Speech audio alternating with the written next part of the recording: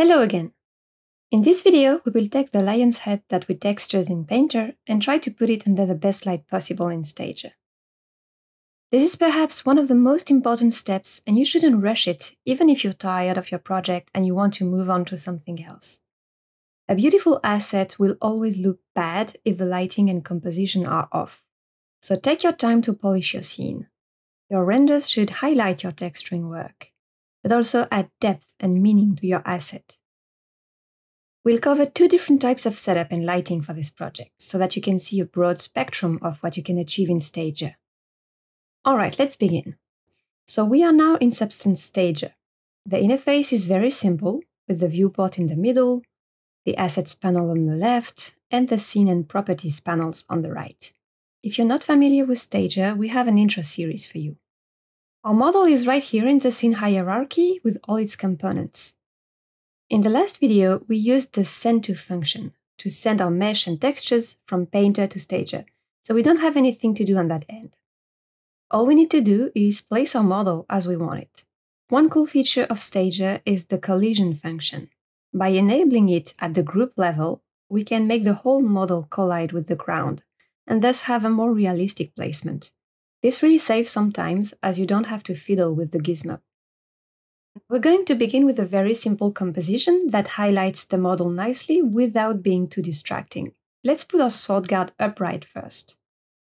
Next up, I like to make the background darker so that the gold stands out more. We can do it by going to the environment properties and change the background color there. Like so. We can also hide the grid if it gets in the way, this gives us a solid dark background with subtle ground shadows.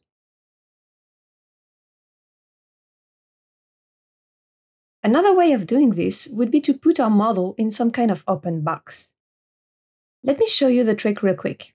Simply bring a cube in your scene, scale it up. Now the key here is to convert it to a standard mesh by clicking here, since by default Stager primitives are all parametric objects. Once it's converted, you can use the magic wand to select only one face. Then simply delete it and apply some kind of matte material to the box. What I like with that setup is that it blocks some of the light from the environment. Let me switch to ray traced mode to show you. See? It's giving a much more contrasted and dramatic feel to the scene. And by playing with the rotation of the light, you can achieve very interesting results. At this point, it's a good idea to start adding cameras to the scene to save interesting angles. Of course, Stager lets you change the focal length of your cameras, as well as the resolution if you want to. I'm gonna leave it as is. What I'd like to change though is the environment light that's currently applied. I think something a bit more contrasted would work best. Like this, for example, and yes, perfect. See how the light hits the side of the face and enhances the volumes. If you want to have more granular control over the lighting, you can add physical lights to your scene. You'll find them at the top of the lights panel. I'm going to grab an area light, rotate it downwards, and scale it up to match the model. Alright, next we need to increase its intensity. Toggle the gizmo to world space mode by pressing T to move it easily. Now let's go back into camera view just to check how things look. Alright. Now we can turn down the environment light. And you see that if I turn it off completely, the area light takes over the scene and creates that very dramatic look, which I find very cool. So that was one way of staging our model. Now let me quickly show you another approach. Let's say we want to make something more atmospheric and evocative. I'm going to start by adding a plane for the sword guard to rest on, scale it up. All right. And then what I have in mind here is to turn this into some kind of parquet floor. So we need a wood material for this. If we take a look at the materials panel, we see that we have a couple of wood materials by default, but they are very light and clean and wouldn't work very well with our model. again, we need something a bit dark to make the gold stand out. So let's browse the Substance 3D Assets library by clicking on the plus button over here. Then search for dark wood and see what we get. All right. I think these two could work. If we click on one of them, we can see its properties, see if it's scanned or procedural, for example, and also send it directly to Stager. There it is. As you can see, it looks way better than the default oak material. Now we need to make a few changes to it. I'm going to increase the resolution to 4K because we want all the crisp details in, in case we make some close-ups. Then rotates the wood veins so that they follow the line of the sword. And lastly, increase the tiling. This is looking pretty good already, so let's add a camera to frame nicely what we just did. Okay.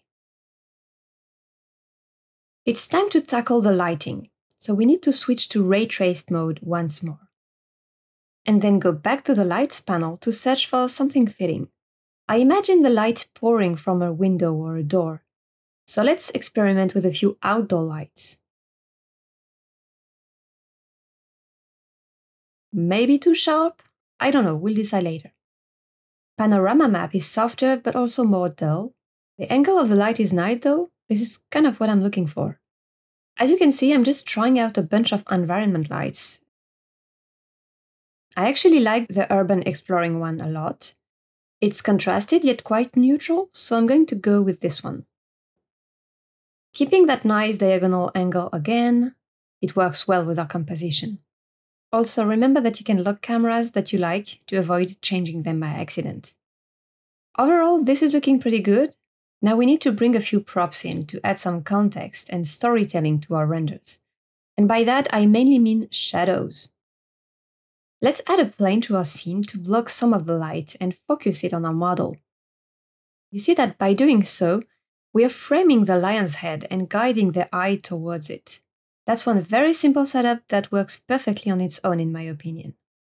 But we can flesh it out a bit more if we want by making the shadows more complex. Let's look for a nice foliage mesh in our assets panel. Foliage B should work nicely in the scene. Now, if we go in the object properties, you'll notice that it comes with a lot of options. And that's because it's a parametric asset. You can spot them by the little sliders icon in the corner here. We can, for example, change the type of leaf, the distribution of the leaves, and much more. Now let's place it so that it casts nice shadows onto our model. Reactivate ray tracing. And you can see here we have a problem. Our environment light is too soft, and so the effect is barely visible. So let's try a stronger light, such as Villanova. Perfect. All we have to do is a bit of tweaking to get the desired effect. Further away the object, the softer the shadows. And nice, this works well.